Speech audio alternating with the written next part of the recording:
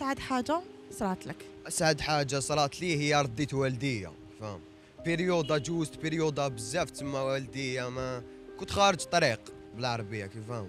ودوكا شغل سيت نسقم روحي حتى وين رضاو والديا عندها واحد ثلاث أيام سقسيت لها سقسيت لها جوز يما قلت لها يماك كي راضي عليا قالت لي إيه راني راضي عليك وكان الشيخ بابا واقف ثاني.